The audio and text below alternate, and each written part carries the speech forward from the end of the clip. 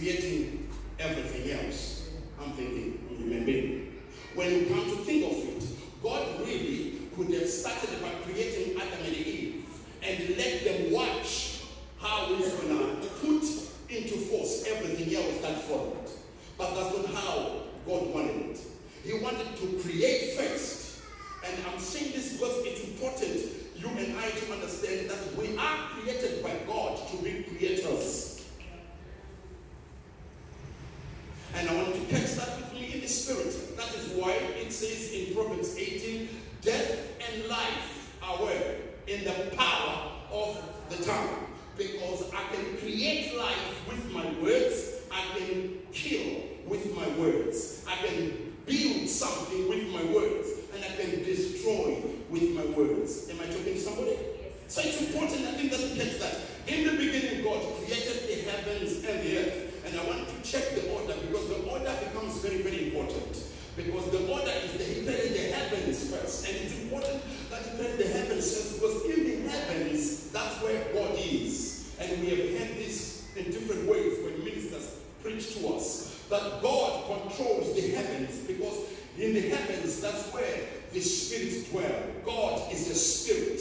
What is here on earth must have a body. And because you and I, first and foremost, are spirit first, because we are spirit first, but what makes us to be legal here on earth, it is the body that God has given us. We are proving that. So if we understand that, that God created the heavens first and then he created the earth, it is important therefore as well for us to understand that God who rules in the heavens and has given to you and I the earth for you and I to dominate and have authority over, it is important that we understand what is at stake here as far as the earth realm is concerned. You remember Matthew chapter 26. It is one of the prayers that Jesus is praying in the Garden of Gethsemane. And in that prayer, he's, there is a, almost a fight between his flesh and his spirit. And therefore he says, Lord, this is difficult in this realm of the earth where I am. Because in the earth realm, really, I am pushed to do it my way, my will. Nonetheless, let not my will be done, but yours be done. Am I talking to somebody? Yeah. So it's important for you therefore to understand that your battle as it pertains to prayer, this is what I I'm sharing with us about. When it comes to prayer, it is an understanding that one of the big responsibilities of God's children when we come before Him in prayer as we relate with God is to make sure that let your will in the heavens be done here on earth as it is in heaven. So, in other words, we copy what heaven and unveils for us, and we want that life in the heavenlies to be actualized here on earth. Am I talking to somebody? So that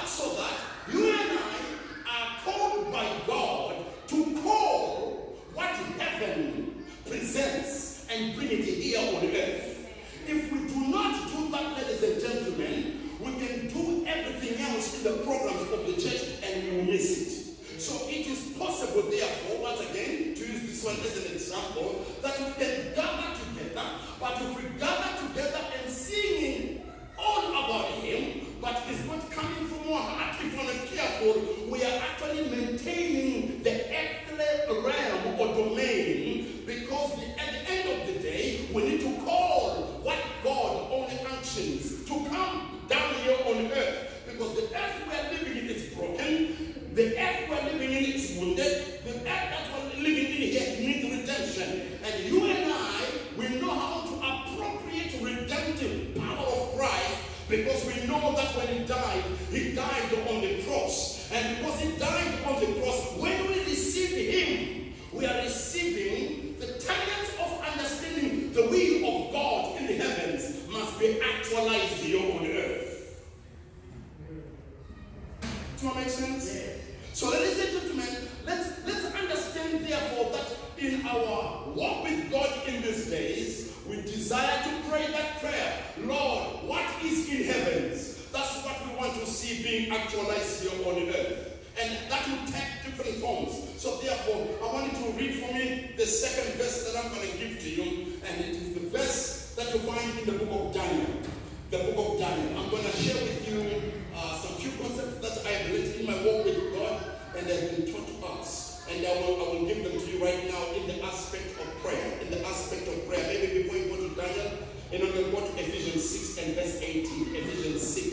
verse 18. Let's start that one before we go to Daniel 10 and verse 12. Ephesians 6 and verse 18. Ephesians 6 and verse 18.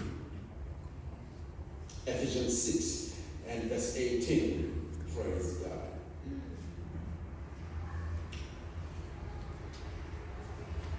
I'll give in NIV.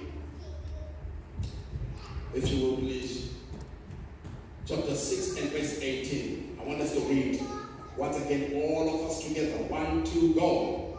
And pray in the Spirit on all occasions with all kinds of prayers and requests. With this in mind, be alert and always keep on praying for all the saints. I want us to read once again, all of us, as many of us as we can. Let's lift up our voices to God. There's power in breathing in the atmosphere. One you go and pray on all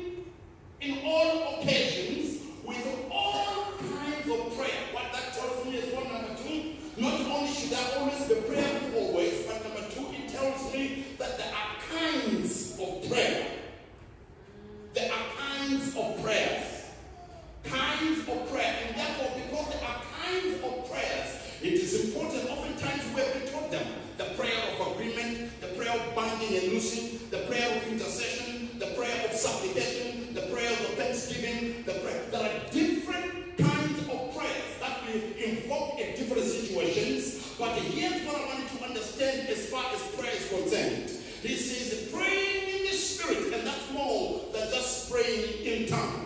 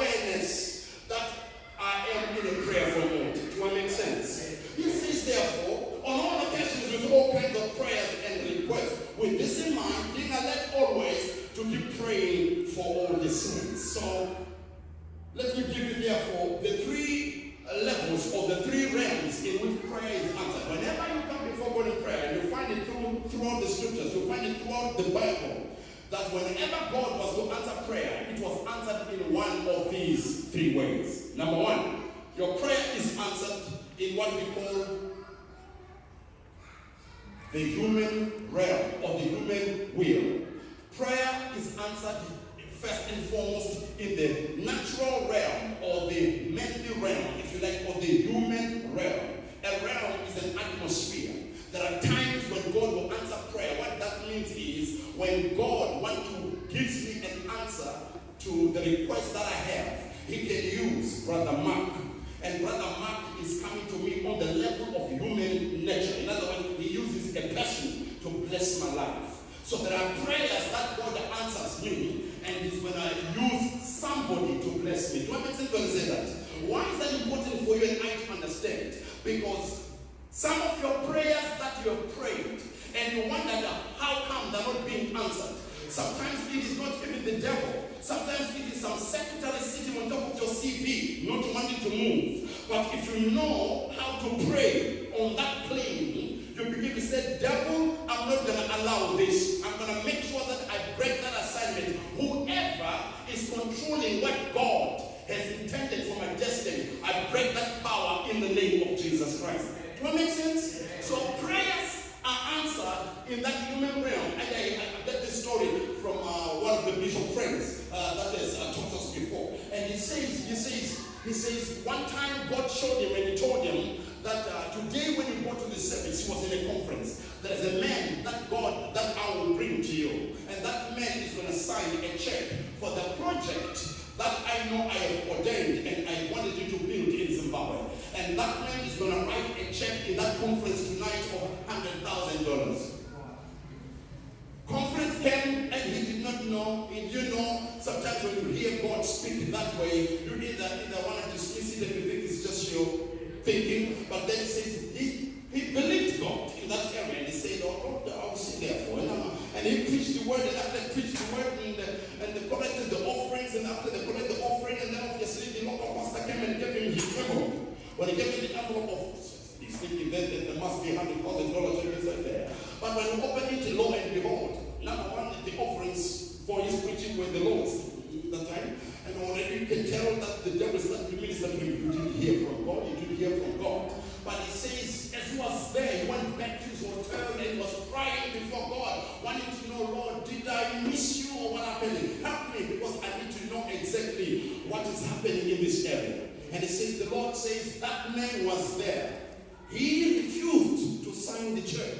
So the Lord, I, I sort of wondered, what do you mean? You say to me, he's going to sign. He said, yes. Because on the earthly realm, the human will, catch this, the human will is more powerful than the will of God.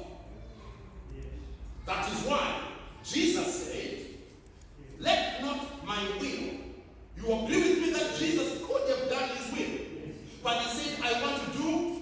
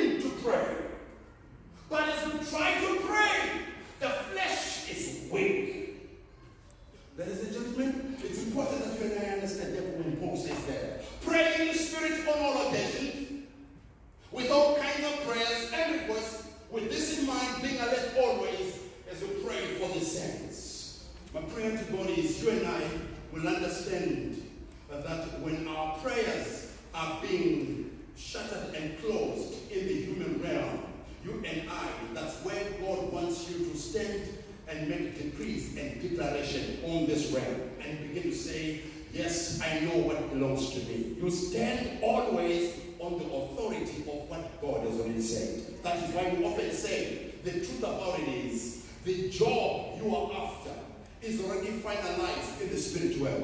Don't you say that? Which means you are just supposed to walk it out on this realm. But on this realm, there are the enemies that the devil uses. Thank you, Peter. There are the demonic forces that the enemy would use. And as you know, demonic spirits they don't want to live outside the body and therefore their first target are human beings. So sometimes it could be a boss or a supervisor that is trying to control what belongs to you because the enemy is trying to use them to control what belongs to you. But if I know what to pray, that I know this one God has given me, therefore I'm going to stand my ground and begin to declare, what's mine, it's mine. We haven't trained in the church to understand the power of prayer. Ladies and gentlemen, tonight hear me and hear me well. I want you to think about all the things that God has promised you. That what is happening there. When you begin to know that which God has given you, stand your ground and begin to declare. So Bishop says, I started to pray Lord, I know that you have given me that word. And I realized when I was now checking out, checking out of the hotel and was already flying back to Zimbabwe on his way to the airport, he gets a call. And the call is, Bishop, are you still in the hotel? Because I need to see you. And this bishop says, no, I cannot see you because I've got to go back home. Because there is another conference I'm running to. And he says, please, Bishop, I'm going to change sure that you can fly tomorrow. I've got to see you. So I'm going to get into a flight because I can't sleep. Last night, God was speaking to me. And the man came out there, and that is the same man now that was holding a check of $100,000 signed and given to him. Who's blocking your miracle? Who is blocking what God wants you to have? If we are confessing you and I, I am free in Christ, why are you bound? If you and I are confessing, my God shall supply all of my needs according to his in glory, what's happening? When you understand that there's an enemy we are fighting in Israel that will try to sabotage and derail and close up the blessings of God, today I want you to pray that you've never prayed before.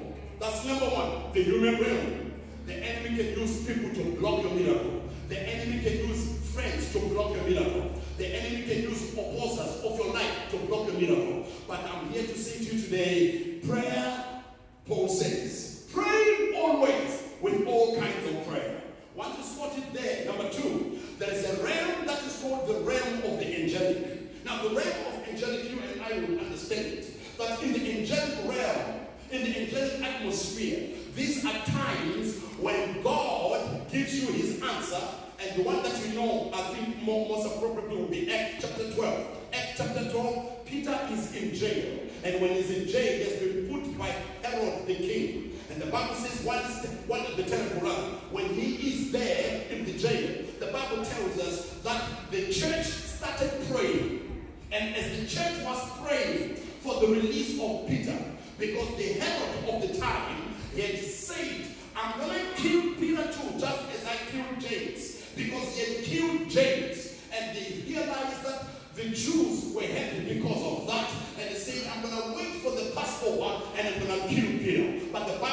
Acts chapter 12,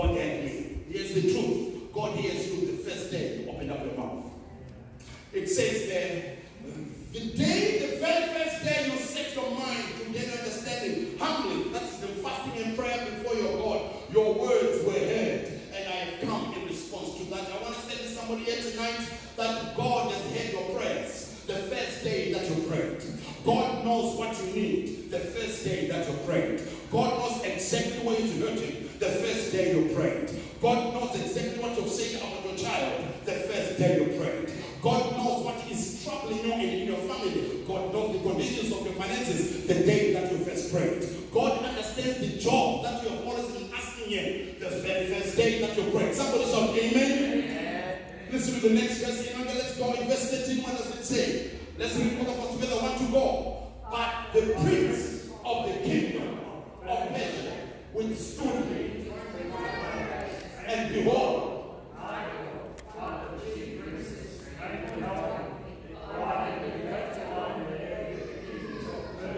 Why is that important for you and I to understand? It is important for you to understand that when you pray, what are you fighting against? The Bible already told us in the book of Corinthians, you are not fighting against flesh and blood. So it's wanting you to understand that when you pass the human realm, there is a demonic system in the second heavens there. And in those heavenlies, there are the powers and the principalities of darkness that are designed to block you from getting your breakthrough. But here's the good news. The first day you pray, God received your prayer request. And it says that the prince of the kingdom of Persia, which is represented as an image of a person, but it is actually a principality in the power there. The prince of the kingdom of Persia withstood me for 21 days, and behold, Michael, one of the chief princes, came to help me, for I had been left alone there with the kings of Persia. It is important that sometimes in my walk with God, I can begin to start praying and I say, Lord,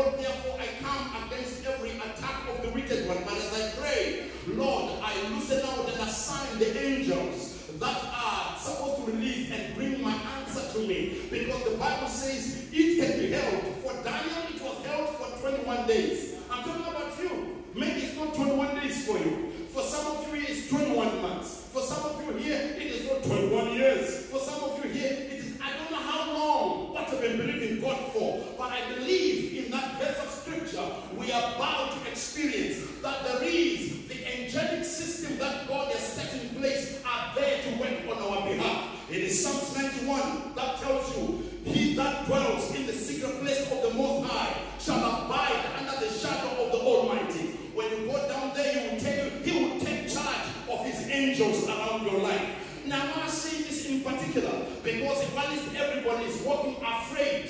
I want you to understand that God's people, there is an angelic assignment around you. Hear me, hear me well. That there are angelic assignments over your life. There are angelic assignments sent over your life. God will set his angels to protect you. Do you know how this thing is spiritual? I know it is spiritual because there are only churches right now that are not allowed to govern.